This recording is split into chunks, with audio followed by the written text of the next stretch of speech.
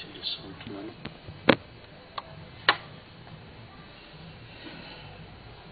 ప్రియమైనటువంటి వాళ్ళ గతంలో లోకానికి అంత చిక్కినటువంటి మహాజ్ఞానాన్ని ధ్యానించాం. అందులో దయ్యమును గురించినటువంటి విశేషాలు. దయ్యము పుట్టుక. అలాగే దయ్యాలు మంత్రాలు క్షుద్ర శక్తులు ఉన్నాయా అనే విషయమే. బైబిల్లో ఏం రాయబడి ఉందో అది ఏం చెప్పిందో దాన్ని తెలుసుకునేటువంటి ప్రయత్నం చేశాం. ఇక ఈ దినమున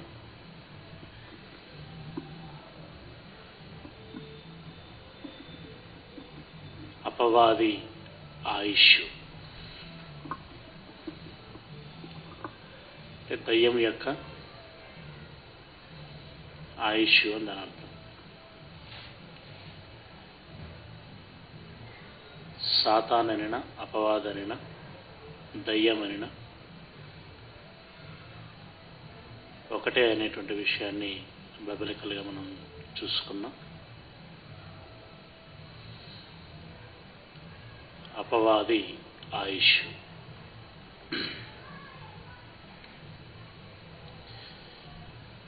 ప్రేమైనటువంటి వారలరా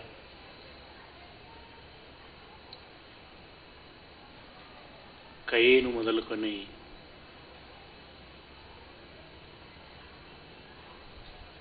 రాజైనటువంటి సౌలు ఇస్క్రియోతు యూద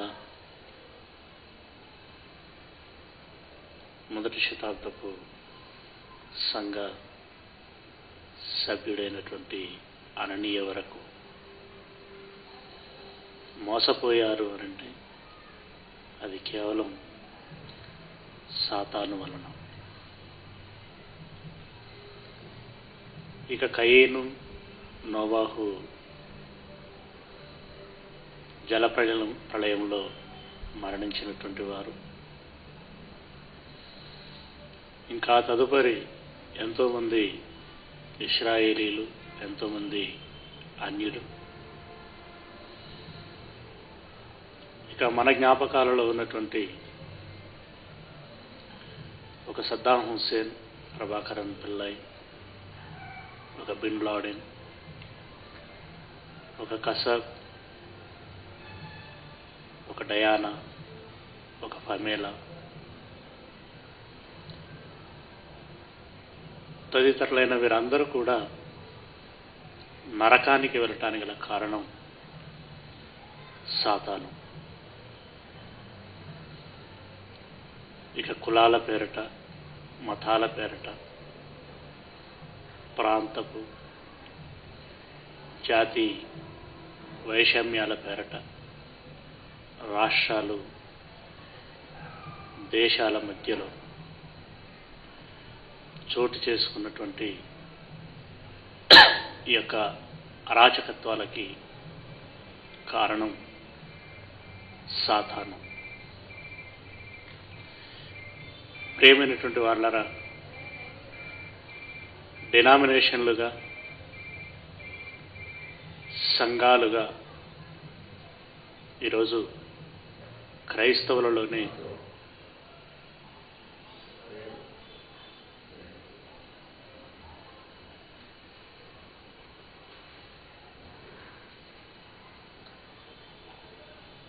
సంఘాలలోనే క్రైస్తవులలోనే ఒకరంటే ఒకరికి పడనటువంటి పరిస్థితికి గల కారణం సాతాను. ఇక భయంకరమైనటువంటి విగ్రహాలు అలాగే ఆకాశమందు భూమి మీద ఉన్నటువంటి రూపాలన్నింటిని కూడా దేవతలని పిలుచుకుంటూ దేవునికి శాశ్వతంగా దూరమైపోతున్నారన్న శాస్త్రం పేరట మనోనేత్రములు మూయబడి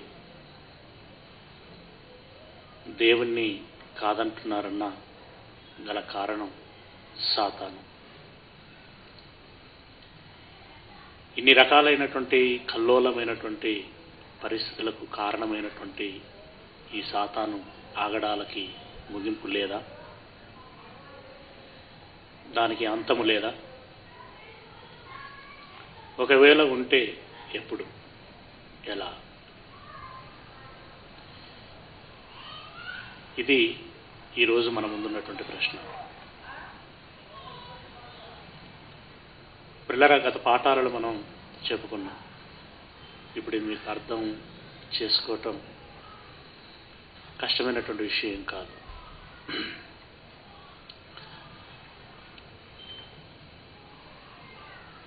సాతాను లేదా అపవాది దయ్యం యొక్క పూర్వము రూపము లేదా స్వభావం ఏంటో తెలుసు కదండి?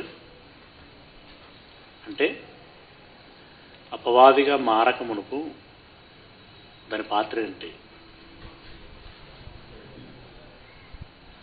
దేవుని యొద్ద ఉండేటువంటి ప్రధాన దూతలలో ఒకటి. అలాంటిది అపవాదిగా మారింది. ఇక సాతానుగా దయ్యముగా క్రూర మృగముగా ఘటసర్పముగా రకరకాలైనటువంటి పేర్లని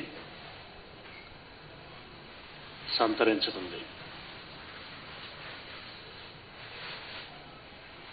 దేవునితో అదెంతో వాదం చేసింది. దేవుని పిల్లలంటే ఈర్ష్యపడ్డది. తనను తాను హెచ్చించుకున్నది.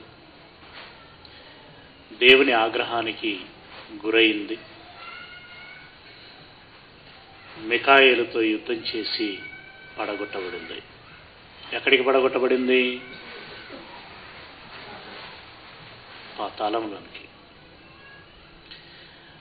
పాతాళంలో ఉన్నటువంటి అగాధములోనికి త్రోసివేయబడినటువంటి అది.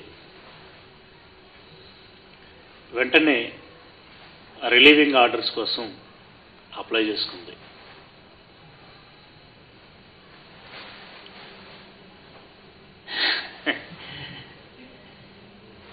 ప్రకటన గ్రంథము ఇరవై అధ్యాయము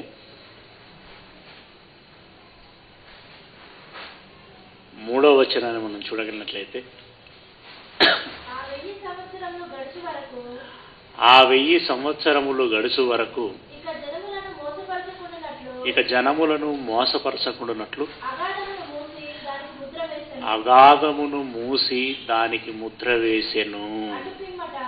చాలండి. ఏమండి? అగాధమును మూసి దానికి ముద్ర వేసెను. అగాధం అంటే అది ఎలాంటి అగాధం అనుకుంటున్నారండి? ఎలాంటి అగాధం అనుకుంటున్నారు? ఆ అగాధములో ఉండేటువంటి చీకటిని గురించి యోగు గారు బహు చక్కగా వివరిస్తారు. ఎనీబడీ కెన్ ఐడియా లాస్ట్ వీక్లో మీకు చెప్పాను కదా. యోగు గారు చెప్తున్నారు.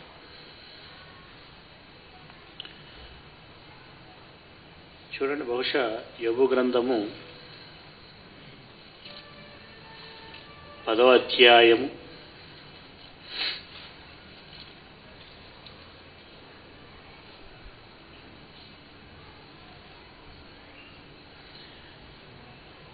ఇరవై వచ్చిన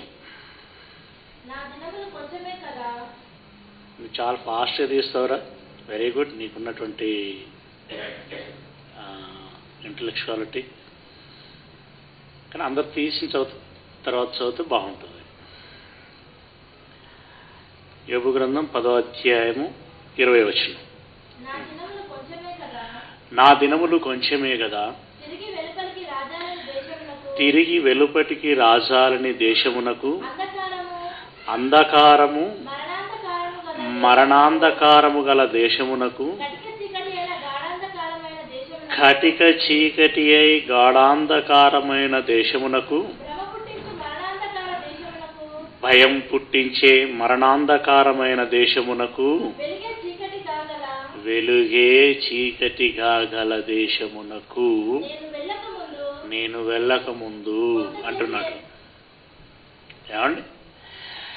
అక్కడికి వెళ్ళక ముందు కొంతసేపు నేను తప్పరిల్లినట్లుగా నన్ను విడిచి వెళ్ళి విడిచి వెళ్ళండి అని అంటున్నాడు. చీకటిని గురించి నిజంగా మనం వాడుకునేటువంటి వాడుక భాషలలో సరి అయినటువంటి పదము లేదు గనక ఇన్నిసార్లు దాన్ని చెప్పాడండి. అక్కడ మనం అర్థం చేసుకోవాల్సినటువంటి విషయం.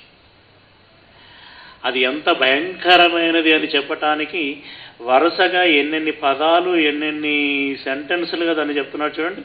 తిరిగి వెలుపలికి రాజాలని దేశమునకు నెంబర్ వన్ తర్వాత అంధకారము మరణాంధకారము గల దేశమునకు అంటే భయ అంధకారం అంటే చీకటి. మరణాంధకారము అనంటే చచ్చిపోయే చీకటి. తర్వాత ఏమంటున్నాడు? కటిక చీకటి. అంటే అంధకారం అంటే చీకటి కాదా? మరణాంధకారము అని అంటే చీకటి కాదా? కటిక చీకటి అంటే ఇంకా? భయంకరమైనటువంటి చీకటి. భయంకరమైనటువంటి చీకటి. ఏమండి? అంధకారము మరణాంధకారము కటిక చీకటి గాఢాంధకారమయమైన దేశమునకు భ్రమ పుట్టించు మరణాంధకారమైన కటిక చీకటి అంటే ఏంటి? గాఢాంధకారం అంటే ఏంటి? మామూలుగా మన వాడుక భాషలో అవి ఈక్వల్ వర్డ్స్ సమానార్థకాలు విశాలమైన చీకటి కాదు. చిక్కటి చీకటిని. చిక్కటి చీకటిని. మజ్జిగ అనుకోండి. మజ్జిగ అనుకోండి పలసగా ఉంటుంది. పెరుగు అనుకోండి చిక్కగా ఉంటుంది. అవునా. కటిక చీకటి గాఢాంధకారపు చీకటి వె వెలుగే చీకటిగా గల దేశమునకు. వెలుగే చీకటి అనంటే? ఆ, ఇప్పుడు ఇది పగల రాత్ర అని అన్నాం అనుకోండి. రాత్రి అని అన్నాం రాత్రి అనగానే మనకి ఏం ఐడియా వస్తుంది? చీకటి అని ఐడియా వస్తుంది. పగలు అని అన్నారు అనుకోండి. ఏం ఐడియా వస్తుంది? వెలుతురు ఉంటుంది. గాఢాంధకారములో ఉండేటువంటి సిచ్యువేషన్ చెప్తున్నాడు. అక్కడ పగలు అనేది ఒకటి ఉందని మీరు అనుకుంటే అది ఎలా ఉంటుందట? చిక్కటి చీకటి అయి ఉంటుంది అంటున్నాడు. పగల్లో ఎలా ఇప్పుడు కొన్ని దేశ భూమండలం మీద కొన్ని ప్రాంతాలలో సూర్యుడు కనిపించడు. అంటే భౌగోళిక లెక్కల ప్రకారం అది వాళ్ళ పగలే. కానీ సూర్యుడు కనిపించడం అంటే చీకటి ఉంటుంది. Okay just like. గాఢాంధకారములో కూడా పగలు అనేటువంటి ఒక సమయం వారికి ఎలా ఉంటుందట అని అంటే చిక్కటి చీకటి. ఇక మరి రాత్రి అయితే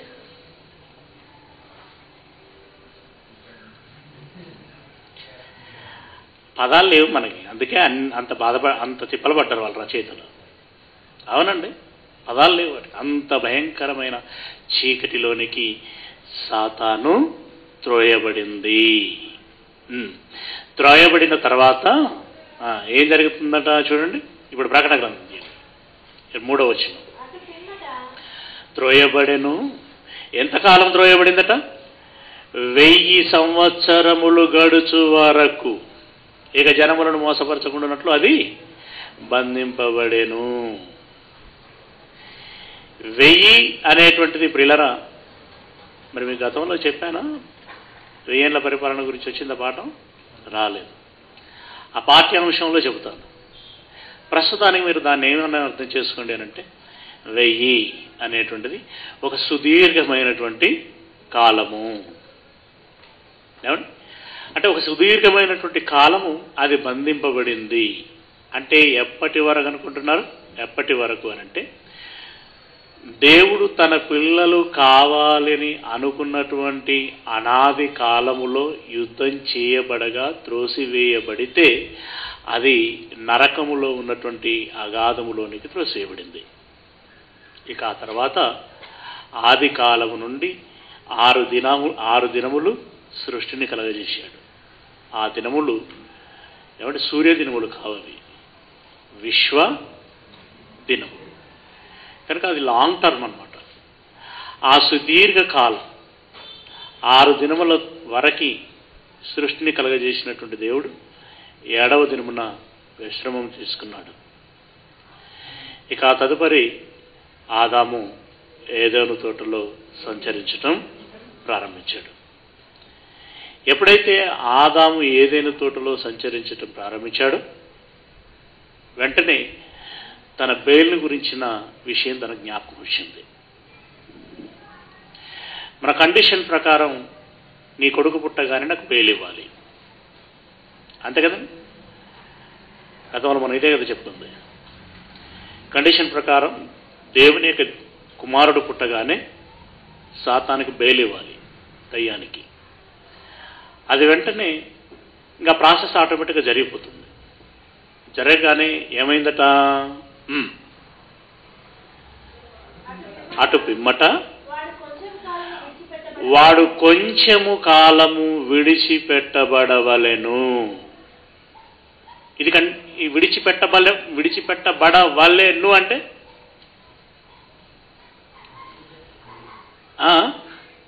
ఓకే ఫ్యూచరే ఇంకా అందులో ఇంకొక మొదలవ ఉంది విడిచిపెట్టబడవలంటే ఆ మేరకు ఒప్పందమైంది గతములో. వెరీ గుడ్ అగ్రిమెంట్ ఆ మేరకు ఒప్పందం అయింది చూడండి ఆ పదంలో ఎంత భావ ఉచ్చారణ ఉంది చూడండి. ఫ్యూచర్ అని ఒకటి అనుకున్నావు ఓకే. విడిచిపెట్టబడవల్లే నువ్వు అంటే ఆ కండిషన్ ఉంది. అబ్బా సాతానండి. చెర్లపల్లి జైలుకి వెళ్తే బయటికి రావటే గగనం మనకి. మనకి ఎవరిస్తారు చెప్పండి బేలు అలాంటిది సుదూర అగాధమైనటువంటి అందులో పడద్రోయబడినటువంటి సాతాను ఏమండి? అలా తెచ్చేసుకుంది బెయిలి అనంటే ఎంత టాలెంటెడ్ అండి అది. పిల్లల జైలుకు వెళ్ళ ముందుకే బెయిల్ అగ్రిమెంట్ అయిపోయింది. రైట్ అలా విడిచిపెట్టబడవలెను. కనుక అదేమైంది? విడిచిపెట్టబడింది. అదే ప్రకటన గ్రంథం ఏడో అధ్యాయము పన్నెండో వచనం. ఏడో అధ్యాయము పన్నెండో వచనం. దేవదూతలందరూ తప్పనుకుంటారా? చదువు ఇంకా? చుట్టూను వద్దు పన్నెండో అధ్యాయం పన్నెండో వచ్చిన చదువు. పన్నెండో అధ్యాయం పన్నెండో వచ్చిన అందుచేత పాది. పరలోకమా? పరలోక నివాసులారా ఉత్సహించుడి. భూమి సముద్రమా? నీకు శ్రమ. అపవాది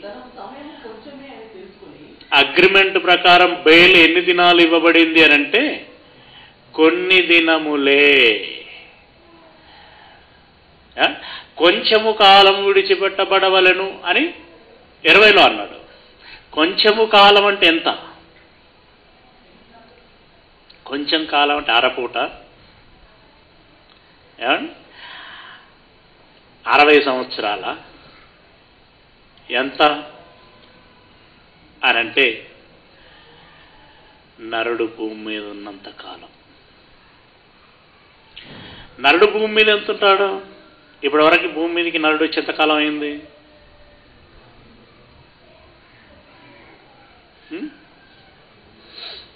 ఆరు వేల సంవత్సరాలు పైచిలు. అవును. చెప్తారు. ఆరు వేల సంవత్సరాల పరిచయం దేవుని దృష్టిలో వెయ్యి సంవత్సరాలు ఒక దినంతో సమానం. అంటే ఇప్పుడు ఆయనకి ఎన్ని దినాలు అయినట్టు? Just only six days week కూడా కంప్లీట్ అవ్వాలా? జస్ట్ ఓన్లీ సిక్స్ డేస్ అది విడిచిపెట్టబడి? ఆరు రోజులు అయింది. ఇంకే వారం కూడా కాల.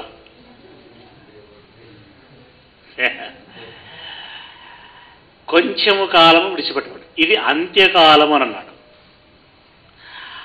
బహుశా నా అంచనా ప్రకారం ఇంకొక రోజు గడిస్తే ఆయన లెక్క ప్రకారం ఏడు సంపూర్ణము. దీంతో మరి అన్నిటికీ పులి స్టాప్ అనేది పడాలి. ఓకే ఏదేమైనా కొంచెము కాలము విడిచిపెట్టబడవలను. దాన్ని ఇప్పుడు ఈ పన్నెండవచనంలో ఏమంటున్నాడు?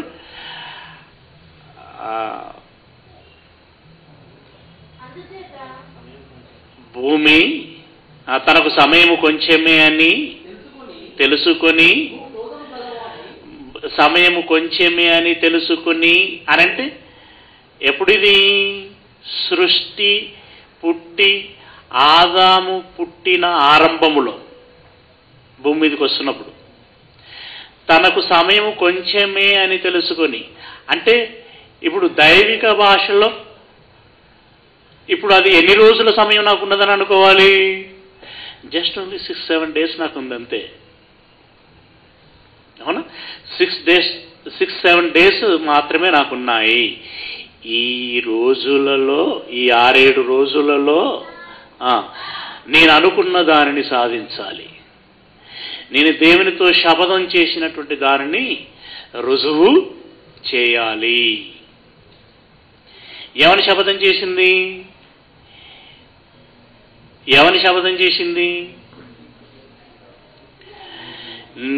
నీ సింహాసనంతో సమానంగా నా సింహాసనం వేసుకుంటాను. నీ పిల్లల కంటే పై ఎత్తున ఆకాశ నక్షత్రములలో నా సింహాసనాన్ని హెచ్చించుకుంటాను. ఇక ఎవరిని నా పిల్లలను నువ్వు అంటున్నావో ఆ పిల్లలు నీకు కాకుండా చేస్తాను. నిన్ను వారు తండ్రి అని పిలవకుండా చేస్తాను. వారు తప్పకుండా నిన్ను అవమానించి అఘోరపరిచి నిన్ను చీకొట్టి నువ్వు మాకు అవసరము లేదు అనేటట్లుగా వారి నోట నేను అనిపిస్తాను. మొత్తానికి ఏ పిల్లలను బట్టి నువ్వైతే ఆశ కలిగి ఉన్నావో ఆ ఆశ నెరవేరదని నేను రుజువు చేస్తాను. నాకు కొంచెం సమయం ఇచ్చినట్లయితే దానిని నేను రుజువు చేస్తాను. నేనేంటో నిరూపించుకుంటాను అది నేనేంటో నిరూపించుకుంటాను. నీ పిల్లల స్వభావము వారి నైజం ఏంటో నేను తెలియచేస్తాను.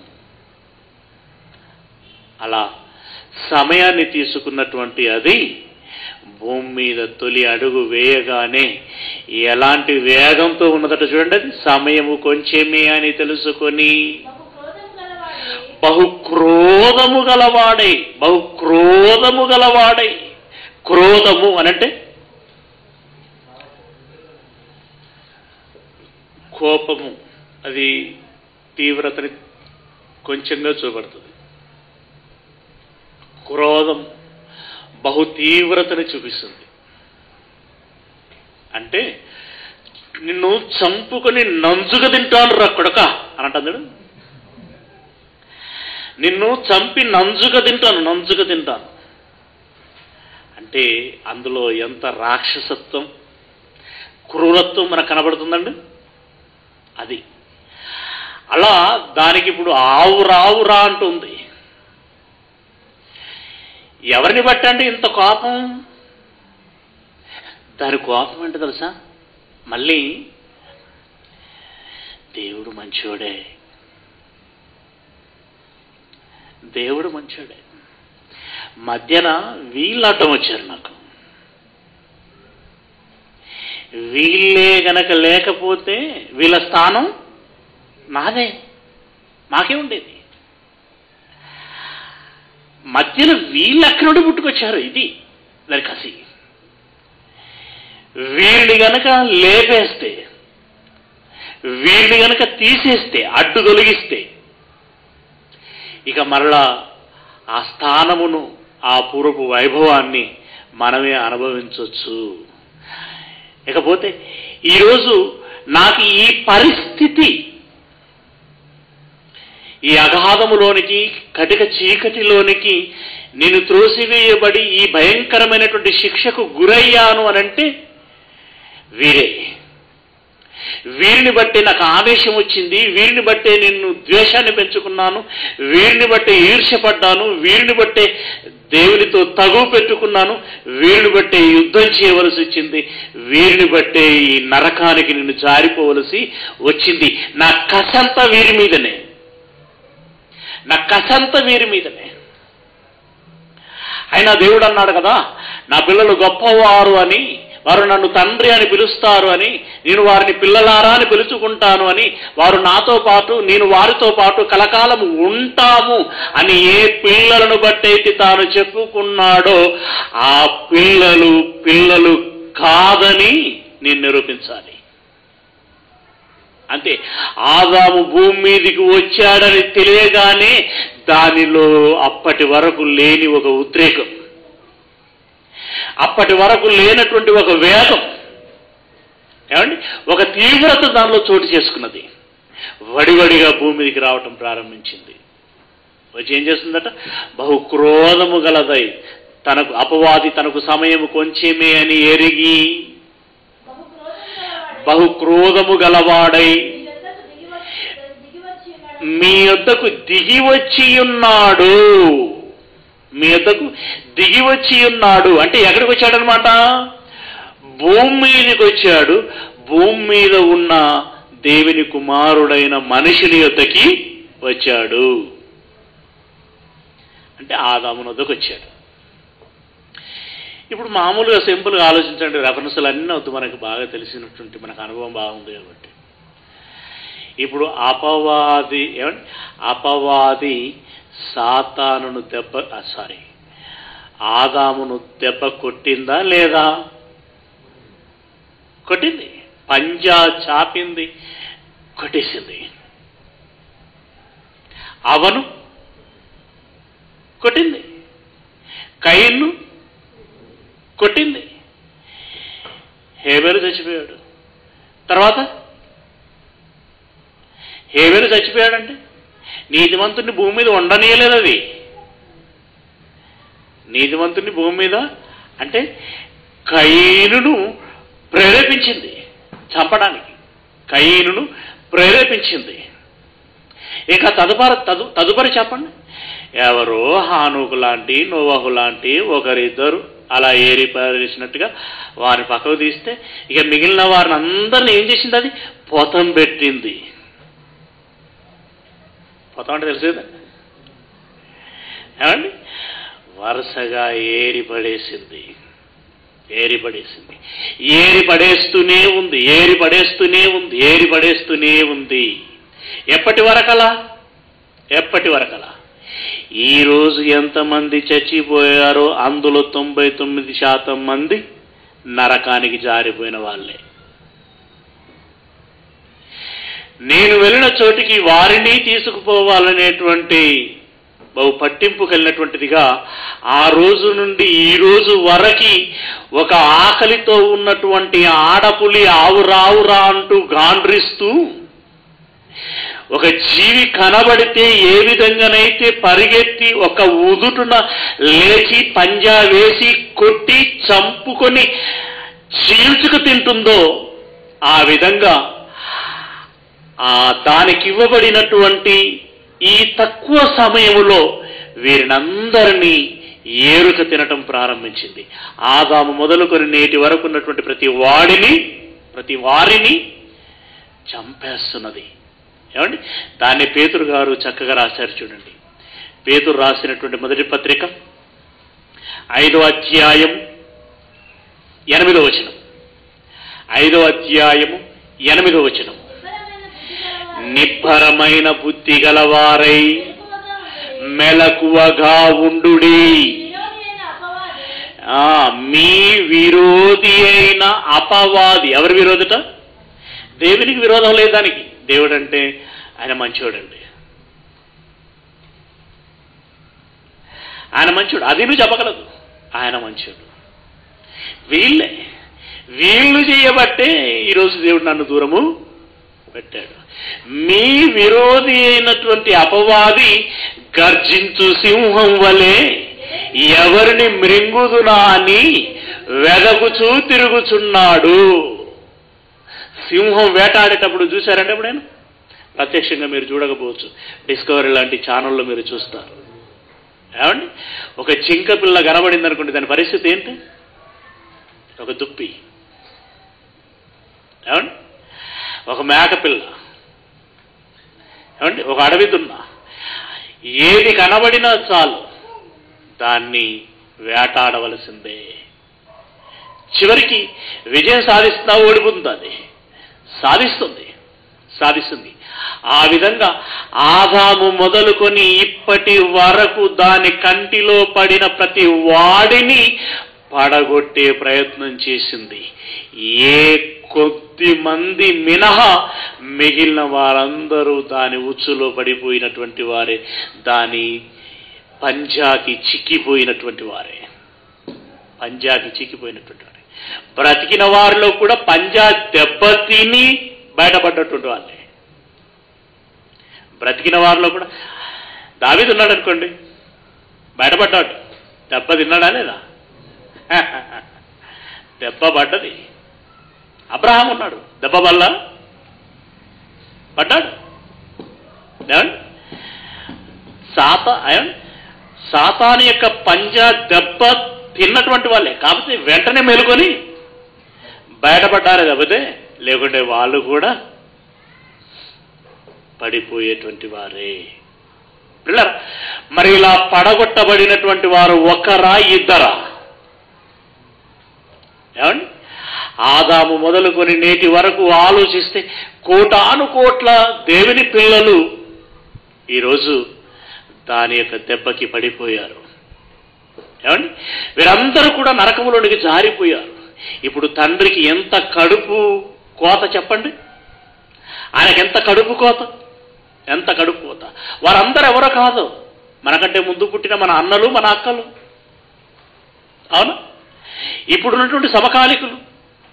ఇంకా రాబోతున్నటువంటి వారు ఎంతమందో? ఇంతమంది నది పొట్టన పెట్టుకుంటున్నది.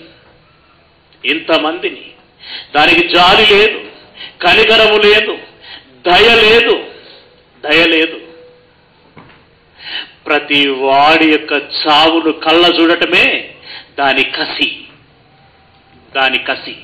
ఇలాంటి సాతాను ఇలాంటి దయ్యం భూమి మీద ఉండటం క్షేమకరమా? క్షేమకరమా? అది పరలోకములో ఉండటమే క్షేమము కాదని పరలోకములో నుండి దేవుడు దాన్ని వెళ్ళగొట్టాడు. వెళ్ళగొట్టి ఏం ఏం చెప్పాడు? పరలోకమా పరలోక నివాసులారా మీరు ఉత్సహించుడి. అంటే దాని అర్థం? పరలోక నివాసులారా మీరు ఉత్సహించుడి. అంటే భయంకరమైనటువంటి ప్రమాదము మీకు తప్పిపోయింది. తప్పిపోయింది. ఇప్పుడు ఏమంటున్నాడు? భూమి సముద్రమా? మీకు శ్రమ? వాడు భూమి మీదకి వచ్చాడు. వాడు భూమి మీదకి వచ్చాడు. ఇక రణరంగమే. ఇక రణరంగమే. వాడు కాలు పెట్టిన చోట నెమ్మది ఉండదు. సమాధానమునకు చోటు ఉండదు. ప్రేమ ఉండదు. అనురాగం ఉండదు. ఆప్యాయత ఉండదు. మంచి ఆహ్లాదకరమైనటువంటి వాతావరణం అక్కడ ఉండదు. ఉండదు. వారు కాలు పెట్టిన ప్రతి చోట ప్రతి చోట ద్వేషాలు విద్వేష విధ్వంసాలు రణరంగాలు యుద్ధాలు భయంకరమైనటువంటి బీభత్సకరమైనటువంటి వాతావరణాలు చోటు చేసుకుంటాయి. వాడు కాలు పెట్టిన చోట సమాధానమునకు చోటు ఉండదు. వాడు కాలు పెట్టిన చోట అలజడి అల్లరండి. యుద్ధం యుద్ధ వాతావరణం. ఈరోజు చూడండి మనిషికి మనిషికి పడదు. మనిషికి మనిషికి పడదు. ఏమండి? ఒక మనిషికి మనకు మన మనిషి మీద ప్రేమ ఉండదు. అది చల్లారిపోయింది. మనిషికి మరొక మనిషి అంటేనే ఒక రకమైనటువంటి ద్వేషం ఈర్ష కక్షలు అల్లర్లు కొట్లాటలు జగడాలు చంపుకోవటాలు మానభంగాలు దోపిడీలు దొంగతనాలు. మనిషి మృగాలైపోతున్నటువంటి ఈ వేళ మనకు కనబడుతున్నది దేవుని కుమారుడు కాదు దయ్యపు యొక్క వికృత రూపం. దయ్యము యొక్క వికృత రూపం. ఈరోజు భూమండలాన్ని అగ్నిమండలముగా మార్చేసింది అది. మానవ బాంబులై పేలిపోతున్నాయి. తుపాకి మోతలు పిరంగి మోతలు. పరంగి మోతలు. ఎక్కడున్నో చెప్పండి శాంతి? ఎక్కడున్నో చెప్పండి సమాధానం? ఎక్కడ పరణ వెళ్తుందో చెప్పండి ప్రేమ? లేదు లేదు. కులాలు మతాలు జాతులు ప్రాంతము రాష్ట్రాలు దేశాలు. చైనాకి అమెరికాకి ఏమైనా మంచితనం ఉందా? నటిస్తున్నాయి కదా? తెలీదా మనకి? పోనీ పాకిస్తాన్కి ఇండియాకి ఏమైనా బాగుందా? అలాగని బర్మాను నమ్మొచ్చా? నేపాల్ను నమ్మొచ్చా? భూటాన్ను నమ్మొచ్చా? America? Russia? Iran? Iraq? Kuwait?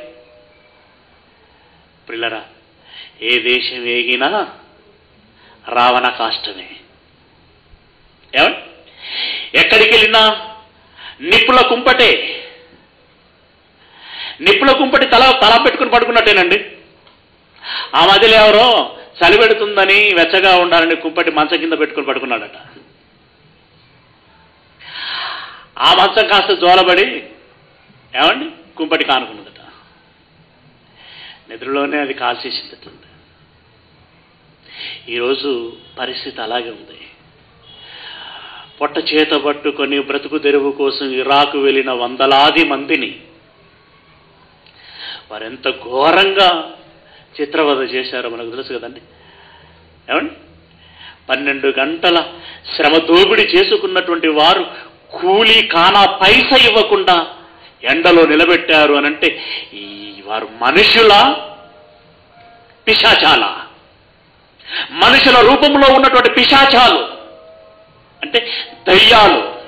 వీరిని ఎవరు ఆవరించారనుకుంటున్నారు? దయ్యం దయ్యం. పిల్లరా ఇలాంటి దయ్యానికి ముగింపు పలికేది ఎలా? ముగింపు పలికేది ఎలా? దాన్ని ఆలోచించాలి. రైట్ ఏదేమైనా యేసుక్రీస్తుని గురించి ఆయన త్వరగా రానయ్య ఉన్నాడని మనం ఎదురు చూస్తున్నాం ఆయన త్వరగా రానయ్య ఉన్నాడు ఒక మాట కొరంతీలో రాసినటువంటి పత్రికలో రెండవ రాకడను గురించి ఒక మాట ఉంటుంది మీరు వెతకండి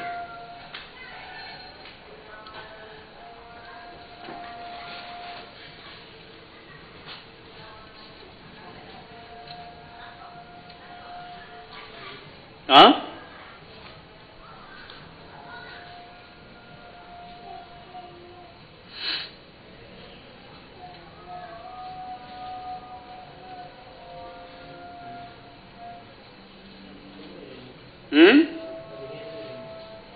పత్రిక?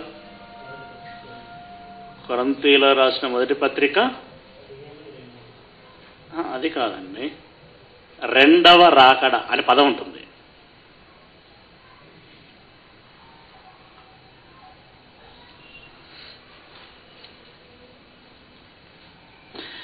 ఇంతకు ముందైతే రక్షించడానికి తన ప్రాణం పెట్టడానికి వచ్చాడు. ఇప్పుడైతే అని చెప్పి రెండవ రాకడం గురించి చెప్తుంటాడు.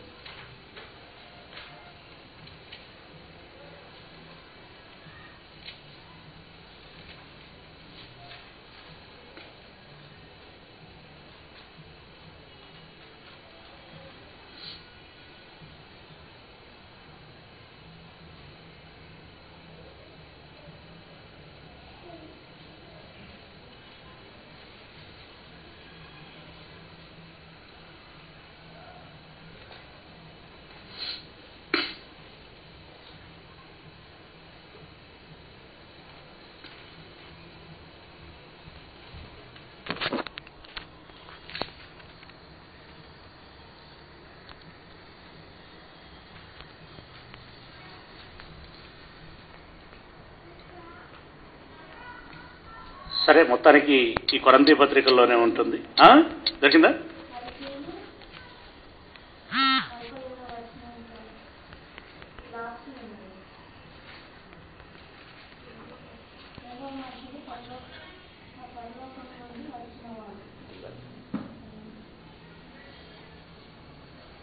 సం- సంబంధం లేనటువంటి మాట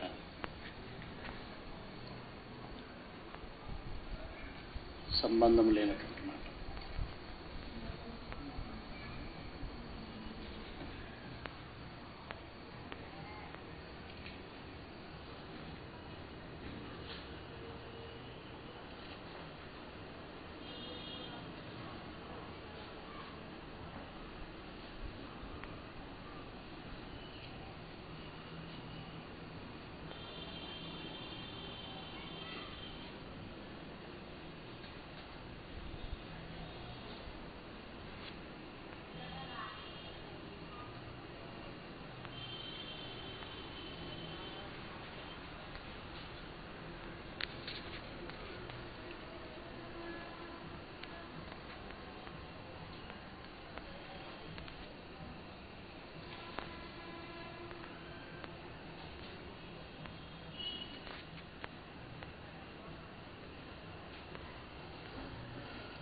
సరేనండి అది మీకు తర్వాత చూపిస్తాను. మీరు అలా ఉంచితే కొరంతీలో రాసినటువంటి మొదటి పత్రిక సారీ పేదరు గారు రాసినటువంటి మొదటి పత్రిక మూడో అధ్యాయం మూడో అధ్యాయం పదో వచనాన్ని మనం చూడగలిగినట్లయితే మూడో అధ్యాయం రెండవ పత్రిక తీయండి రెండవ పత్రిక మూడో అధ్యాయం పదవచనము అయితే ప్రభువు ప్రభు దినము దొంగ వచ్చినట్లు వచ్చును ఆ దినమున ఆకాశములు మహాధ్వనితో గతించిపోవును. ఇది ఎవ- ఏ సందర్భం గురించి చెప్పబడుతున్నది? ఎవరిని గురించి చెప్పబడుతున్నది అనంటే క్రీస్తు రాకడను గురించి చెప్పబడుతుంది. దాన్ని మీరు మీది వచనాలలో గమనించగలిగినట్లయితే తొమ్మిదో వచనంలో వెయ్యి సంవత్సరములు ఒక దినం వలె ఉన్నవి కొందరు ఆలస్యమని ఎంచుకొనున్నట్లు ప్రభువు తన వాగ్దానమును గురించి ఆలస్యము చేయువాడు కాడు.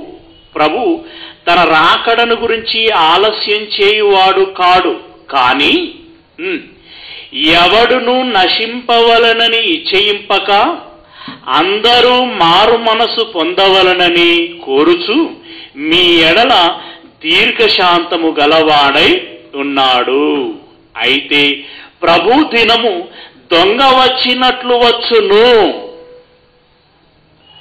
ప్రభు దినము దొంగ వచ్చిన వచ్చినట్లు వచ్చును. అంటే దాని అర్థం ఏంటి? ఒక దినం వస్తుందనా? ఒక దినమున ఆయన వస్తాడనా? ప్రభు దినం అనే ఒక దినం వస్తుందనా? దాని అర్థం ఒక దినమున ప్రభు వస్తాడనా? అంటే మాట్లాడరేంటి ఒక దినమున ప్రభు వస్తాడు. ఏమండి? దొంగ ఏ విధంగానైతే చెప్పా పెట్టకుండా ఒక దినాన ఒక ఇంటికి వస్తాడో అదే విధముగా యేసు ప్రభువు చెప్పా పెట్టకుండా ఈ లోకములోనికి ఒక దినమున వస్తాడు. వచ్చిన వచ్చిన దినమున ఏం జరుగుతుందో చెప్తున్నాడు. ఆ దినమున ఆకాశములు మహాధ్వనితో గతించిపోవును.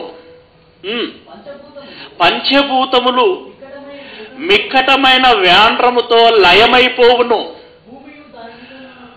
భూమిను దాని మీద ఉన్నటువంటి కృత్యములను కాలిపోవును. ఇవన్నీ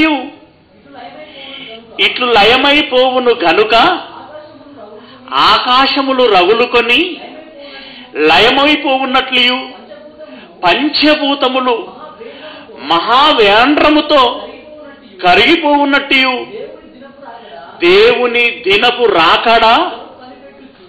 ఆ? రాకడకు కనిపెట్టుచు దానిని ఆశతో ఆపేక్షించుదాము అని అంటున్నాడు. రైట్ మొత్తానికి ఆయన వచ్చిన దినమున ఏం జరుగుతుందని చెప్తున్నాడు ఇక్కడ? ఏ ఆయన వచ్చిన దినమున ఏం జరుగుతుందని చెప్తున్నాడు? భూమి ఆకాశములు నక్షత్రములు ఇవన్నీ కూడా లయమైపోతాయి. అంటే ఒక మాటలో చెప్పుకుంటే ఈ పంచభూతములన్నీ కూడా అంతరించిపోతాయి. అంటే ప్రకృతి నాశనమైపోతుంది. లోకమునకు అంతం అవుతుంది. అవునా? ప్రభు వచ్చినటువంటి దినమున ప్రకృతి అంతమైపోతుంది. అంతం. అంతం అంటే సమాప్తం. కొలాప్స్ అయిపోతుంది అంతా ఇంకేమో ఉండదు. భూమి బూడిదైపోతుంది భూమి బూడిదవుతే భూమి మీద ఉన్న వృక్షాలు జీవులన్నీ కూడా బూడిదైపోతాయి. నదులు నీరు కూడా బూడిదైపోతుంది. అవును. ఏమంటే నక్షత్రాలు బూడిదైపోతాయి. గాలి బూడిదైపోతుంది. సమస్తము బూడిదే కాదు. బూడిదను మించిన పదం అన్నాడు అక్కడ. లయం. అంటే ఇంకా నీకు ఏమీ కానబడదు. బూడిద కూడా మిగలదు. అంటే ఆయన వచ్చిన దినమున అంతం వస్తుంది అన్నాడు. అవునా? ఆయన వచ్చిన దినమున అంతం వస్తుంది. వెరీ గుడ్ ఇది మనసులో పెట్టుకోండి. ఆయన వచ్చిన దినమున అంతం వస్తుంది.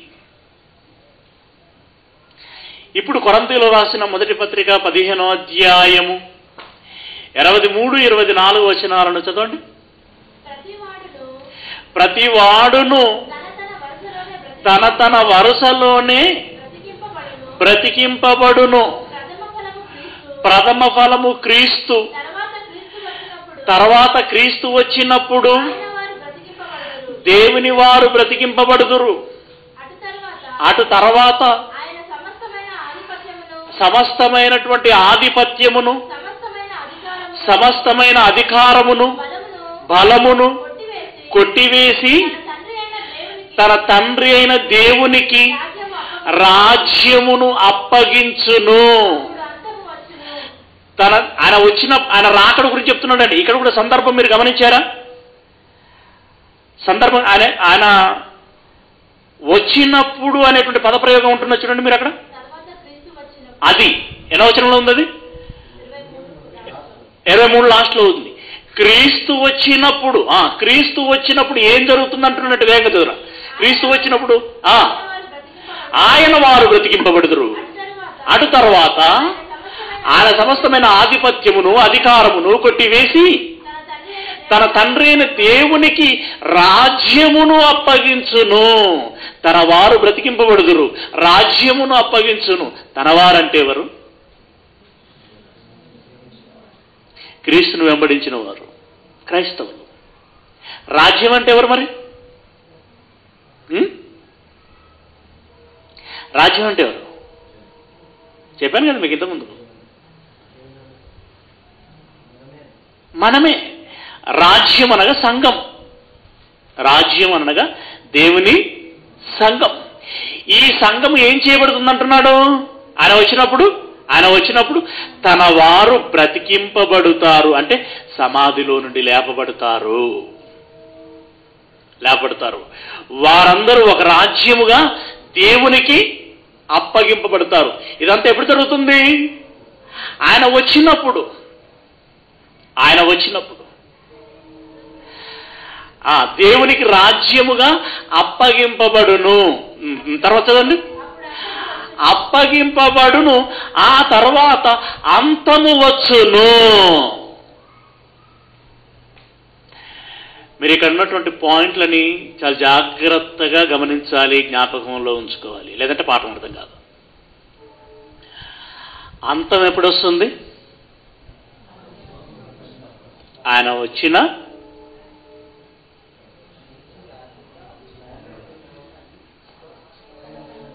నేను అడిగిన దానికి సమాధానం చెప్పండి. అంతము ఎప్పుడు వచ్చును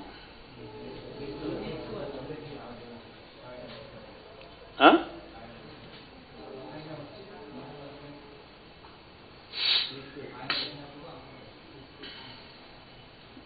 ఆయన వచ్చినప్పుడు అంటే ఆయన వచ్చినాక తెల్లారా? మరుసటి దినమా? నాలుగు రోజులుగా ఆరు నెలల? ఆయన వచ్చినప్పుడు అంటే? ఇది సెకండరీ నేను నేను యాజ్ ఫర్ పేటర్ ప్రకారం. అది ఇందాక మనం చదువుకున్నాం కదా? ఆ రెఫరెన్స్ ప్రకారం అంతము ఎప్పుడు వచ్చును? అది వచ్చిన దినమున ఆ రోజే. అది మనకు కావాల్సిన పాయింట్ అది. ఆ రోజు ఆయన ఎన్నడైతే వస్తాడో ఆయన వచ్చినప్పుడు అని అంటే ఆయన వచ్చినాక తెల్లారా మళ్ళీ మరుసటి దినమా అన్నట్టుగా ఉంటుంది. ఛాన్సెస్ ఉంటాయి. ఆప్షన్స్ కనబడతా ఉంటాయి వచ్చిన దినముననే అంటే ఏదేదైనా మరుసటి దినం ప్రవేశించే లోపు ఇది అయిపోతుంది అందని అర్థం ఇప్పుడు చెప్పండి. ఆయన వచ్చిన దినమున అంతం వస్తుంది. ఇదొకటి గుర్తుంచుకోండి. ఇప్పుడు కొరంతీయులకు రాసిన పత్రిక ప్రకారము ఆయన వచ్చిన దినం రెండు పనులు జరుగుతాయని చెప్పాడు ఈయన. ఇక్కడ పౌలు గారు చెప్తున్నాడు ఒకటి దేవునికి రాజ్యం అప్పగించబడుతుంది. అప్పగింపబడిన వెంటనే అంతము వచ్చును. అంటే ఈ ప్రకృతి నాశనమైపోతుంది. ఇది అన్నట్టు జరుగుతుందని పౌలు గారు చెప్పాడు. అన్నడే. ఎన్నడు? ప్రభు వచ్చినాడే. ప్రభు వచ్చినాడే రాజ్యం అప్పగింపబడుతుంది. అంతము. పేదరు గారు ఒక విషయాన్ని చెప్పారు. పౌలు గారు రెండు విషయాలు చెప్పారు. అంతేనా? పౌలు గారు ఏమన్నారు అనంటే రాజ్యం అప్పగించబడుతుంది. అంతము వస్తుంది. ఆయన వచ్చిన దినమున. పౌలు గారు చెప్పింది. పేదరు గారు ఏం చెప్పారు? ఆయన వచ్చిన దినమున పేదరు గారు చెప్పింది. అంతము వచ్చును అని చెప్పాడు ప్రకృతి నాశనం. అంటే ఇప్పుడు ఈ ఇద్దరు చెప్పినటువంటి దాన్ని బట్టి సీక్వెన్స్ మన ఇప్పుడు ఏం కనబడుతుంది? ఆయన వచ్చిన దినమున మొదటగా రాజ్యము దేవునికి అప్పగింపబడుతుంది. రాజ్యం అప్పగింపబడిన తర్వాత లోకం కాలైపోతుంది అంతేనా? జంతువులు ఇక వృక్షాలు భూమి ఇది మాత్రమే ఉంటుంది. అప్పుడు దీనంతటిని నాశనం చేస్తాడు. రైట్ ఇప్పుడు తెసలోనిలో రాసినటువంటి రెండవ పత్రిక రెండవ అధ్యాయము ఎనిమిదవ వచనం. తెసలోనిలో రాసినటువంటి రెండవ పత్రిక రెండవ అధ్యాయం ఎనిమిదో వచనము. అప్పుడు ఆ ధర్మ విరోధి బయలుపరచబడును. ధర్మ విరోధి. ఎవడాడు? సాతాను. వెరీ గుడ్ బయలుపరచబడునంటే? ఇప్పుడు ఏమైనా దాక్కున్నాడా?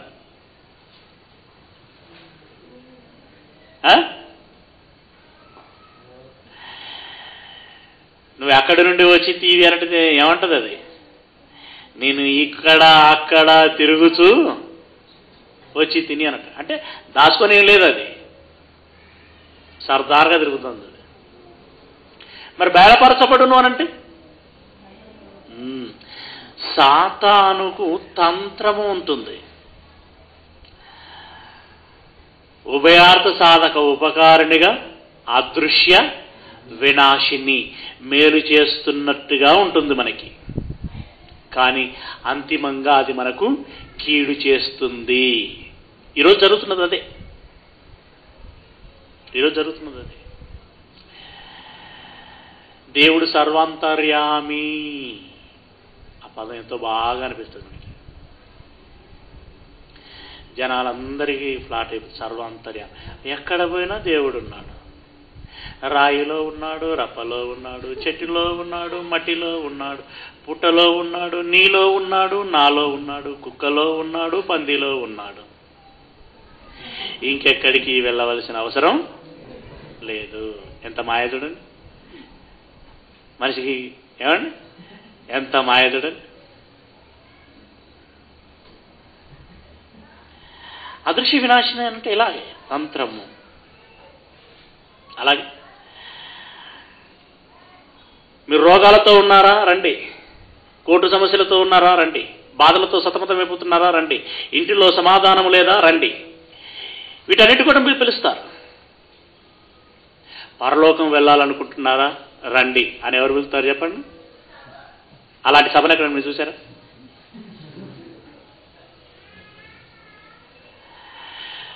రోగులందరి కోసం భక్తులు ప్రార్థన చేయను అంటాడు. మనం అందరం పరలోకం పోవడానికి ప్రార్థన చేద్దాం. రండి. అని అంటారా? ఎంత మాయ చూడండి సాతాను తంత్రం. అదృశ్య వినాశిని. అదృశ్య వినాశిని. బయలుపరచబడును. అంటే దాని అర్థం ఏంటి అని అంటే దాని ఒరిజినల్ క్యారెక్టర్ బయట పెట్టబడుతుంది అని అంటున్నాడు. దాని రంగు ఏంటో బయట పెట్టబడుతుంది అది బయలుపరచబడును. మరి ఎవరు బయలుపరచారు? మనసులో పెట్టుకోండి. మొత్తానికి బయలుపరచబడుతుంది విడిచిపెట్టే ప్రసక్తి లేదు. చీల్చి చండాడాలి బయలుపరచబడుతుంది అది నా ద్వారానే అయితే నాకు సంతోషం. అలాగే మీరు కోరుకుంది. ఏమండి?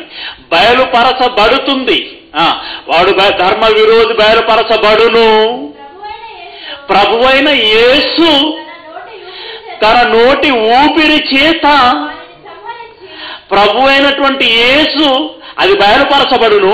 అప్పుడు ప్రభు అయినటువంటి యేసు తన ఊ నోటి ఊపిరి చేత వారిని సంహరించి వారిని సంహరించి వారి వారిని సంహరించి వాని సంహరణ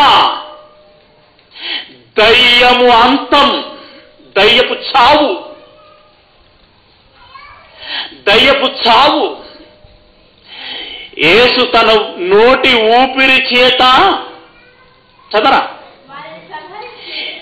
దయ్యమును సంహరించి తన ఆగమన ప్రకాశము చేత నాశనము చేయును. సంహారణ వధ వధ. ఎన్నడు? ఎప్పుడు? మళ్ళా అంత దగ్గరికి ఎందుకు నువ్వు ఎక్కడ ఏ రెఫరెన్స్ అయితే ఆలోచిస్తున్నావు ఆ ముందు దాన్ని అర్థం చేసుకో ఫస్ట్ తర్వాత లింకప్ చేయి. ఏమంటున్నాడు?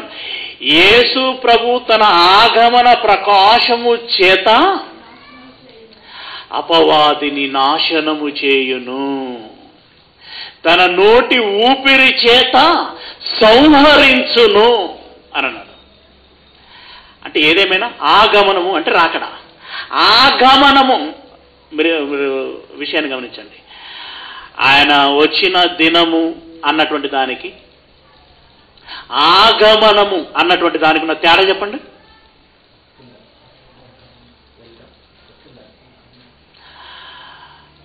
వచ్చిన దినము అని అంటే ఆ ట్వంటీ ఫోర్ అవర్స్ ఎప్పుడైనా.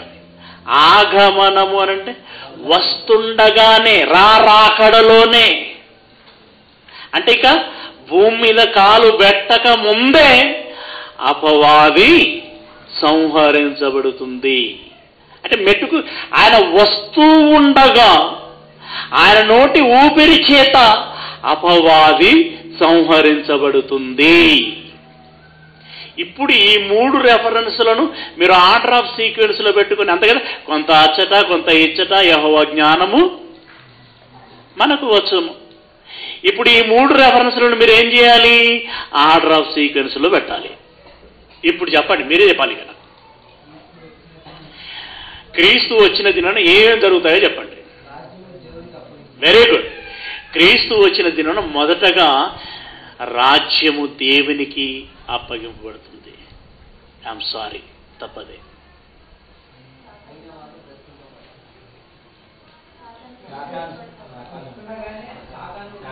వెరీ గుడ్ ఆగమన ప్రకాశము చేత. వస్తు రాగానే మొదటగా ఎవరిలో ఏమైపోతారు? సాతాను సంహరించబడుతుంది. ఆయన వచ్చిన దినం మొదటగా జరిగే పని అది. రెండవ రాకడ. అంటే అది మీకు చదివించాలనుకున్నాను మీకు ఏమండి అబ్సల్యూట్లీ కొరంతి పత్రికలో ఉంటుందండి. నా దాంట్లో అన్ని గీతలు బాగా గీసినాయి కాబట్టి దొరుకుతలేదు. ఆ రెఫరెన్స్లు నెంబర్లే కనబడతలేదు నాకు. ఏమండి మీరు చూడాలి తర్వాత.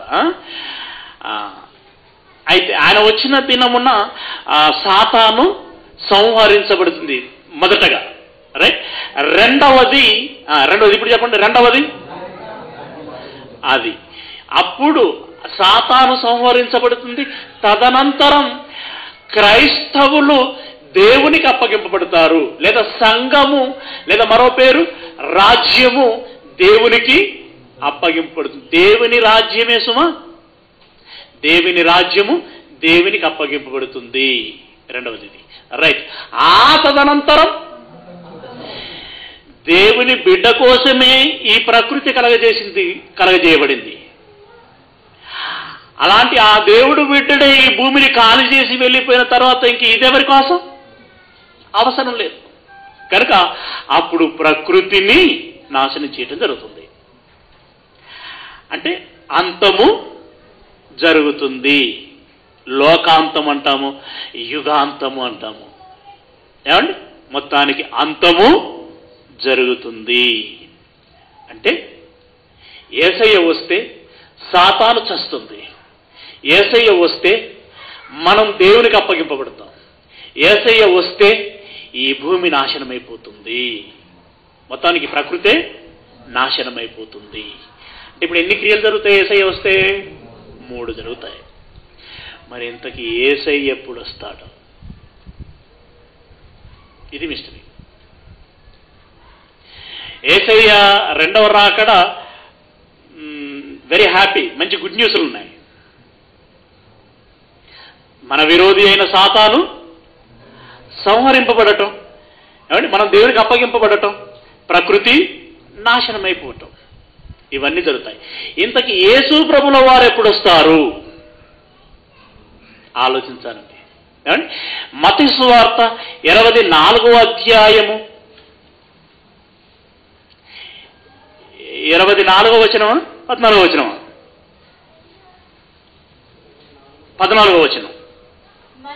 మతి సువార్త ఇరవై నాలుగో అధ్యాయము పద్నాలుగో వచనం. మరియు ఈ రాజ్య సువార్త. ఏ రాజ్య సువార్త? భారత రాజ్య సువార్త కాదు. ఏ రాజ్య సువార్త? ఈ రాజ్య సువార్త అంటే ఏ రాజ్య సువార్త? దేవుని రాజ్య సువార్త లేదా క్రీస్తు రాజ్య సువార్త. క్రీస్తు రాజ్య సువార్త భూమి మీద ఉన్నటువంటి సకల జనులకు సాక్షార్థమై లోకమందంతటా ప్రకటింపబడును. అటు తర్వాత అంతము వచ్చును. ఇప్పుడు చెప్పండి. ఇప్పుడు ఇంతకుముందు చదువుకున్న మూడు రెఫరెన్స్లను మీరు పక్కకు పెట్టండి. కాసేపు మర్చిపోండి వాటిని.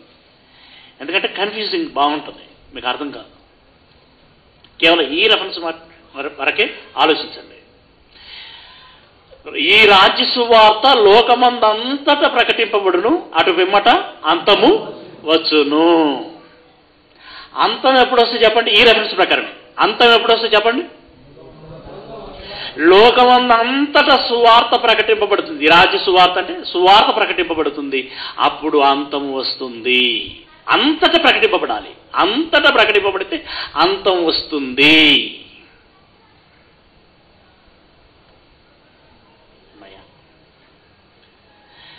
ఇప్పుడు పేతురు గారి పత్రికను జ్ఞాపకం చేసుకోండి. మీరు విన్నారు కదా ఇందాక? దాని ప్రకారం అంతం ఎప్పుడు వస్తుంది? ఆయన వచ్చినప్పుడు అంతం వస్తుంది. మళ్ళీ మత సువార్తని జ్ఞాపకం చేసుకోండి. దీని ప్రకారం అంతం ఎప్పుడు వస్తుంది? సువార్త ప్రకటించబడినప్పుడు అంతం వస్తుంది. యేసు ప్రభు వచ్చినప్పుడు అంతం వస్తుంది. సువార్త ప్రకటింపబడినప్పుడు అంతం వస్తుంది. యేసు వచ్చినప్పుడు అంతం వస్తుంది. సువార్త ప్రకటింపబడినప్పుడు అంతం వస్తుంది. యేసు వచ్చినప్పుడు అంతం వస్తుంది. ఇప్పుడు మూడింటిని పేర్చండి.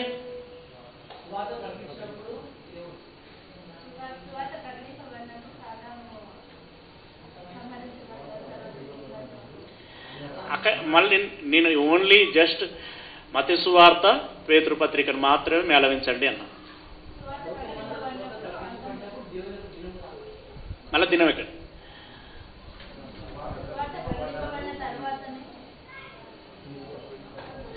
సువార్త సువార్త ప్రకటింపబడితే ఏసయ్య వస్తాడు. ఏసయ్య వస్తే ఈ సృష్టికి అంతం జరుగుతుంది. అదేనా? ఇప్పుడు అక్కడ ఏమన్నాడు అంటే సువార్త ప్రకటింపబడితే అంతం వస్తుంది మరి అంతం రావాలంటే ఏసై రావాలి.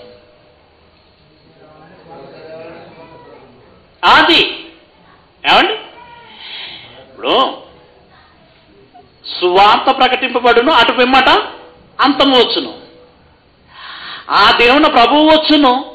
ప్రభు వచ్చిన దినమున సృష్టి లయమైపోవును. అని చెబుతున్నాడు అని అంటే ఇప్పుడు ఈ మూడు ఈ- ఈ మూడు విషయాలను మేళవిస్తే మనకేమర్థమవుతుంది? మనం సువార్త ప్రకటించటం పూర్తి చేసిన నాడు ఏసయ్య వస్తాడు. ఏసయ్య వచ్చిన నాడు సృష్టి అంతమవుతుంది. అపవాది ముచ్చట ఎందుకు వస్తుంది నీకు? ఫైనల్గా నేను అడిగినప్పుడు అవన్నీ చెప్పదు కానీ. నేను నీకు అర్థం చేయించడానికి బిట్లు బిట్లుగా విభజించి చెప్తున్నాను నేను. బాగా ఆలోచించండి. మనం సువార్త ప్రకటిస్తే ఏసయ్య వస్తాడు ఏసయ్య వస్తే అంతం వస్తుంది. ఇప్పుడు సరే మీకు తొందర బాగుంది కదా? సరే ఆలోచిద్దాం. ఇప్పుడు సువార్త ప్రకటిస్తే ఏసయ్య వస్తాడు ఏసయ్య వస్తుండగానే సాతాను లయమైపోతుంది. ఆ తర్వాత రాజ్యము దేవునికి అప్పగింపబడుతుంది ఆ కరెక్టేనా? కరెక్టేనా? కరెక్టే. ఏమండి? సువార్త ప్రకటింపబడుతుంది సువార్త ప్రకటింపబడగానే ఏసయ్య వస్తాడు ఏసయ్య రా రాకడలోనే అపవాది చంపబడుతుంది ఆ తర్వాత దేవుని రాజ్యం దేవునికి అప్పగింపబడుతుంది ఆ తర్వాత భూమి ఆకాశములన్నీ లయమైపోతాయి. మయ. ఓకేనా? రైట్.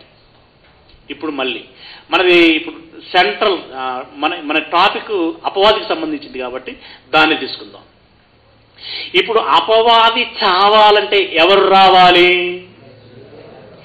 ఏసయ్య రావాలంటే ఏం జరగాలి? Very good.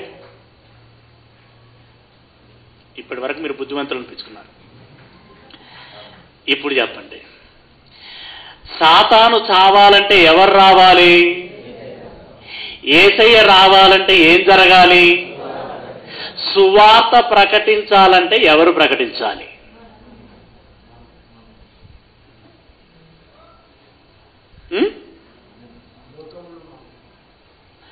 మనమే ప్రకటించాలి. అవునా? ఇప్పుడు చీకటిలో నుండి వెలుగులోనికి పిలువబడినటువంటి మీరు ఏమంటాడు అక్కడ? క్రీస్తు యేసు వంశమును రాజులైన యాజక సమూహమును ఆయన సొత్తైన ప్రజలునై ఉన్నారు. స్వార్థ ప్రకటించవలసింది ఎవరిప్పుడు మనమే. ఏమండి? నీళ్ళు టంగీలు వేసుకున్న వాళ్ళు అనుకో అలా వాళ్ళని ఫిక్స్ చేయకండి. ఏమండి? పిలుపుని అందుకున్న ఇట్ మీన్స్ ఆ సువార్త ద్వారా పిలువబడిన అంటే పాపములో ఉన్నటువంటి మనలను పరిశుద్ధతలోనికి పిలిచాడు. అలా ఎవరమైతే పిలువబడ్డామో పిలువబడిన మనందరి మీద సువార్త ప్రకటించవలసిన బాధ్యత ఉంది. విశ్వసించటమే మాత్రమే కాదు శ్రమపడుటయు మీ వంతున ఉన్నది అని అంటాడు. శ్రమపడుటయు ఉంది. సువార్త ప్రకటించాలి. మరి ఇప్పుడు వాస్తవానికి లోకములో అసలు క్రీస్తుని గురించి ప్రకటించబడని దేశం అంటూ ఉందా?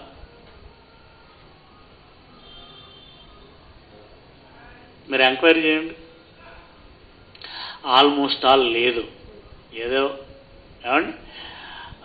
ఒక పాయింట్ వన్ పర్సెంట్ ఏమని చెప్పలేము ఒకవేళ సరే ప్రకటించబడలేదండి అంతా ప్రకటించబడలేదు. అనుకుందాం.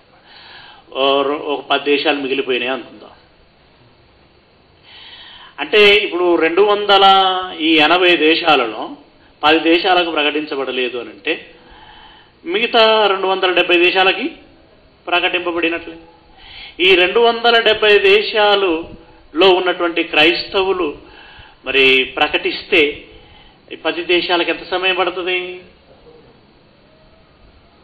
నిమిషాలలో అయిపోయేటువంటి పని. నిమిషాలలో అయిపోయేటువంటి అది కావటం లేదు.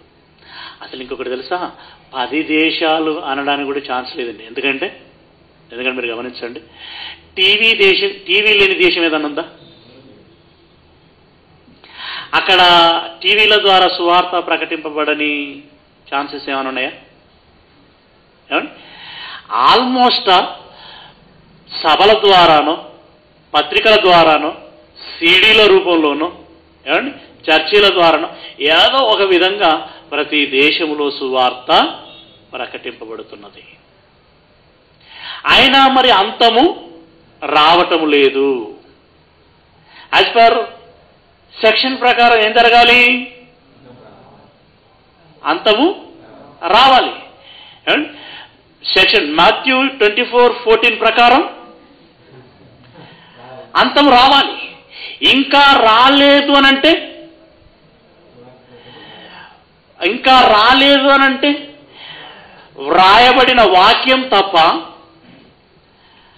ఇంకా రాలేదు అని అంటే సువార్త ప్రకటింపబడలేదన్నా. సువార్త ప్రకటింపబడలేదు. మరి సువార్త ప్రకటింపబడలేదు అని అంటే మరి ఇన్ని సభలు జరుగుతున్నాయి ఇన్ని టీవీ ప్రోగ్రాంలు వస్తున్నాయి ఇంతమంది అంతర్జాతీయ ప్రసంగికులు ఉన్నారు. మరి ఇన్ని విధాలుగా స్ప్రెడ్ అయిపోతుంది. మరి ఇంకా ప్రకటింపబడలేదు అని అనటం ఏంటి? వెరీ గుడ్ గలతీలు రాసినటువంటి పత్రిక ఒకటో అధ్యాయము ఆరో వచనం. క్రీస్తు కృపను బట్టి మిమ్మల్ని పిలిచిన మిమ్మును పిలిచిన వారిని విడిచి భిన్నమైన సువార్త తట్టుకు. మీరింత త్వరగా తిరిగిపోవుట చూడగా నాకు ఆశ్చర్యమవుతున్నది ఇది ఎప్పుడు రాస్తున్నటువంటి మాట అండి? మొదటి శతాబ్దంలో రాస్తున్నటువంటి మాట. మొదటి శతాబ్దంలోనే జనులు ఏసువార్తలోనికి వెళ్ళిపోయారట. అప్పటికే ఏసువార్త ప్రకటింపబడుతున్నది. జనులు ఏసువార్తను నమ్ముతున్నారు. జనులు ఏసువార్తను ఫాలో అప్ అవుతున్నారు. జనులందరూ ఏసువార్తలో ఉన్నారు. స్ప్రెడ్ అవుతున్నది ఇది. భిన్నమైన సువార్త. అసలు ప్రకటించవలసింది? అసలైన రాజ్య సువార్త. అసలైన రాజ్య సువార్త స్థానములో భిన్నమైన రాజ్య సువార్త ఈరోజు ప్రపంచంలో వేళ్ళూనుకొని ఉన్నది. అది విషయం. ఏమండి ఇన్ని సభలు జరుగుతున్నాయి ఇన్ని కార్యక్రమాలు జరిగిపోతున్నాయి ఇన్ని సెమినార్లు జరిగిపోతున్నాయి అయినా అంతము రావటం లేదంటే అక్కడే మనకు అర్థమైపోతుంది విషయం. భిన్నమైన రాజ్య సువార్త మొదటి శతాబ్దంలోనే వేలూనుకున్నది అని అంటే ఈ ఇరవై ఒకటో శతాబ్దంలో ఎన్ని ఊడలు దిగి ఉండాలి?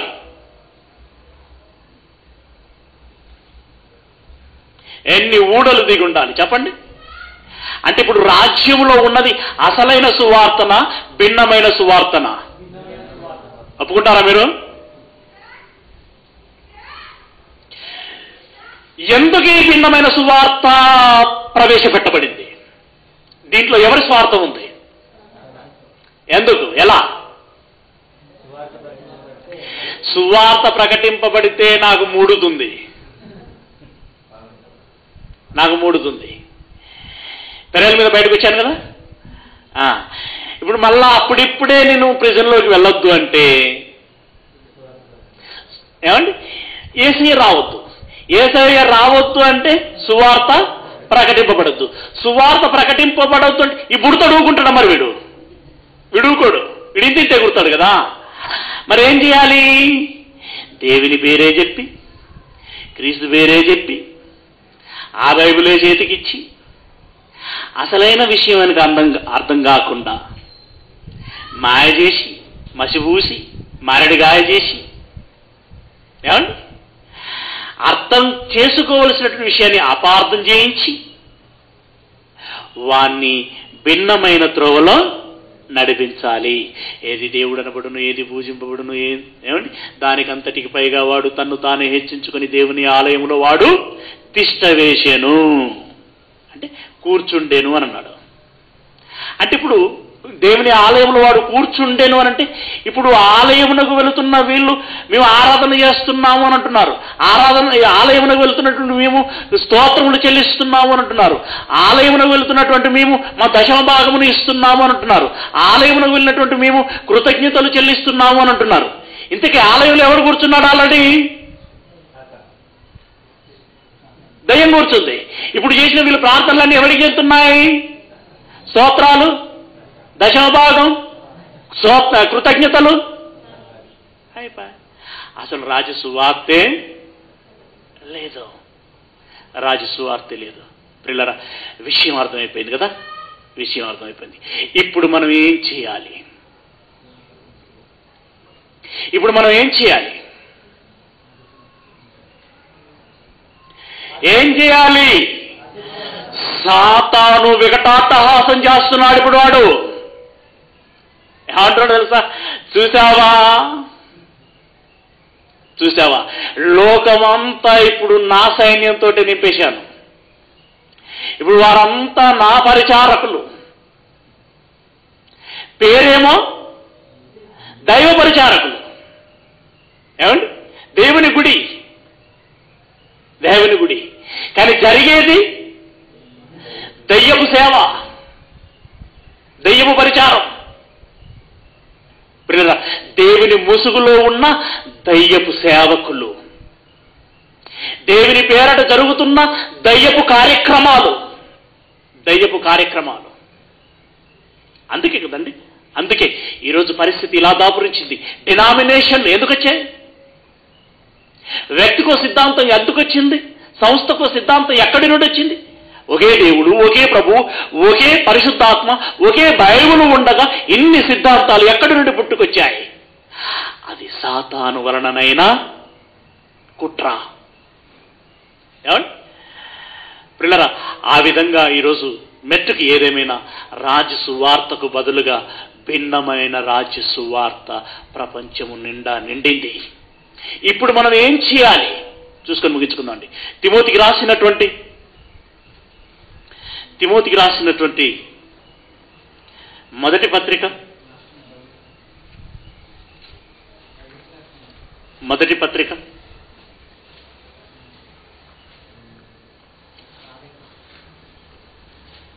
ఐమ్ సారీ రెండవ పత్రిక మూడవ అధ్యాయం పద్నాలుగు పదిహేను వచనాలు. ఆ, క్రీస్తు యేసునందుంచవలసిన విశ్వాసము ద్వారా రక్షణార్థమైన జ్ఞానము కలిగించుటకు ఆ, శక్తిగల పరిశుద్ధ లేఖనములను పా- బాల్యము నుండి నీ వెరుగుదువు. కనుక నీవు నేర్చుకుని రూఢి అని తెలుసుకున్నవి ఎవని వలన నేర్చుకుంటివో ఆ సంగతి తెలుసుకుని వాటి ఎందు నిలకడగా ఉండుము. ఆ దైవజనుడు సన్నద్ధుడై సన్నద్ధుడే అంటే? అస్త్రశాస్త్రములన్నీ సిద్ధపరుచుకొని ఆ దైవజనుడు సన్నద్ధుడై ప్రతి సత్కార్యమునకు పూర్ణముగా సిద్ధపడి ఉండునట్లు దైవావేశము వలన కలిగిన ప్రతి లేఖనమును ఉపదేశించుటకును ఖండించుటకును తప్పు దిద్దుటకును నీతి అందు శిక్ష చేయుటకును ప్రయోజనకరమై ఉన్నవి భిన్నమైన సువార్త విస్తరిస్తున్నటువంటి వేళ అసలు సువార్తను ఎరిగిన నీవు చేయవలసిన పనేంటో చెప్తున్నాడు ఇక్కడ. దైవజనుడు సన్నద్ధుడై ప్రతి సత్కార్యమును పూర్ణముగా సిద్ధపడి ఉన్నట్లు దైవావేశం వలన కలిగిన ప్రతి లేఖనము ఉపదేశించాలి ఖండించాలి తప్పు దిద్దాలి నీతి అందు శిక్ష వేయాలి. తీతుకు రాసిన పత్రిక ఒకటో అధ్యాయం పదకొండవ వచనం. వారి నోళ్ళు ముయింపవలను. అట్టివారు ఉపదేశింపకూడనటువంటి వాటిని దుర్లాభము కొరకు ఉపదేశించుచు కుటుంబములకు కుటుంబములనే నరకానికి పంపుతున్నారు. కుటుంబములకు కుటుంబములనే నరకానికి పంపుతున్నారు. అలాంటి వారి నోళ్ళు మూయించవలయును మూయించవలయును. పదిహేను వచ్చిన రెండో అధ్యాయం. రెండో అధ్యాయం పదిహేను వచ్చిన వీటిని గూర్చి బోధించుచు హెచ్చరించుచు సంపూర్ణ అధికారముతో దుర్బోధను ఖండించుతూనుండుము నిన్నెవరిని తృణీకరింపనీయకము? దుర్బోధను ఖండించుచూ ఉండుము. దుర్బోధను ఖండించుము. దుర్బోధను ఖండించుము. పేతురు రాసిన మొదటి పత్రిక రెండవ అధ్యాయము పదిహేను వచనము. పేతురు రాసిన మొదటి పత్రిక రెండవ అధ్యాయం పదిహేను వచనము. ఏలయనగా మీరిట్లు యుక్త ప్రవర్తన గలవారై అజ్ఞానముగా మాట్లాడు మూర్ఖుల నోరు మూయుట దేవుని చిత్తం. అజ్ఞానముగా మాట్లాడుతున్నటువంటి మూర్ఖుల నోరు మూయుట దేవుని చిత్తము. ఎవసిలో రాసిన పత్రిక? ఆరో అధ్యాయము. పన్నెండవ వచనము. ఎఫసిల్ రాసిన పత్రిక? ఆరో అధ్యాయం పన్నెండవ వచనము. మనము పోరాడునది శరీరులతో కాదు పదవచనం చదండి తులకు ప్రభు యొక్క మహాశక్తిని బట్టి ఆయన ఎందు బలవంతుడయ్యుండుడి మీరు అపవాది తంత్రములను ఎదిరించుటకు శక్తిమంతులగున్నట్లు అపవాది తంత్రములను ఎరుగున్నట్లు ఏమండి? క్రీస్తు యేసు ఆనాడు మనకు చెప్పిపోయినటువంటి దానిని బట్టి ఇప్పటికో ఏనాడో రావాలాయన. ఇంకా రాకపోవడానికి గల కారణం సాతాను యొక్క తంత్రం ప్రజలను అలా మభ్యపెడుతున్నది. ప్రజలను అలా మభ్యపెడుతున్నది. అలా మీరు తంత్రములను ఎరిగిన వారై దేవుడిచ్చు సర్వాంగ కవచమును ధరించుకునుడి. ఏలయనగా మనం పోరాడుచున్నది శరీరులతో కాదు. కానీ ప్రధానులతోనూ అధికారులతోనూ ప్రస్తుత అంధకార సంబంధులకు లోకనాథులతోనూ ఆకాశల మండల్ ఆకాశల ఆకాశ మండలమందున్న దయ్యముల సమూహములతోనూ పోరాడుచున్నాము. కనుక అందుచేతను మీరు ఆపద్దినమందు వారిని ఎదురించుటకును సమస్తము నెరవేర్చిన వారై నిలవబడుటకును శక్తిమంతులగునట్లు దేవుడిచ్చు సర్వాంగ కవచమును ధరించుకొనుడి. ఏలయనగా మీ నడుమునకు సత్యమని తట్టి కట్టుకొని నీతి అని మైమరువు తొడుగుకొని పాదములకు సమాధాన సువార్త వలన నేను సిద్ధ మనస్సును జోడు తొడుగుకొని నిలవబడుడి. ఇవన్నీ గాక విశ్వాసమును డాలు పట్టుకొనుడి. దానితో మీరు దుష్టిని అగ్నిబాణములన్నిటినీ ఆర్పుటకు శక్తిమంతులగుదురు. మరియు రక్షణ శిరస్థానమును దేవుని వాక్యమును ఆత్మ ఖడ్గమును ధరించుకొనుడి. ఆత్మ వలన ప్రతి సమయమునందును. ప్రతి విధమైన ప్రార్థనను విజ్ఞాపనను చేయించు. ఆ విషయమై సమస్త పరిశుద్ధుల నిమిత్తమును పూర్ణమైన పట్టుదలతో విజ్ఞాపన చేయించు. మెలకువగా ఉండుడి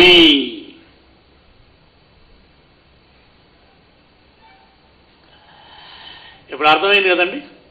ఏమండి? సమయం ఇచ్చిపోయింది అపవాది ఆయుష్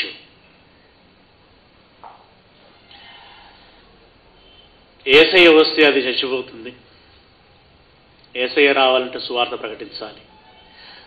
సువార్త ప్రకటింపబడాలి అనంటే దానిని మనమే ప్రకటించాలి. మనం సువార్త ప్రకటించిన నాడు ఏసయ్య వస్తాడు ఏసయ్య వచ్చిన నాడు సాతాను చస్తుంది. బా బా- బాగా గుర్తించండి. మనం సువార్త ప్రకటించిన నాడు ఏసయ్య వస్తాడు ఏసయ్య వచ్చిన నాడు సాతాను చస్తుంది. సాతాను చావు ఎవరి చేతిలో ఉందో చెప్పండి. వెరీ గుడ్ సాతాను చావు మన చేతిలో ఉంది. లోక వినాశినైనటువంటి అపవాది అంతము నీ కళ్ళ చూడాలనుకుంటున్నావా? అయితే నడుం కట్టుకో. కత్తి పట్టుకో. యుద్ధం చెయ్యి. సువార్త ప్రకటించు. ఏసయ్యను రప్పించు. మనుషుల ప్రాణాలను హరించి వేస్తున్న సాతానును అంత అంతమొందించు. ప్రార్థన చేసుకుందాం.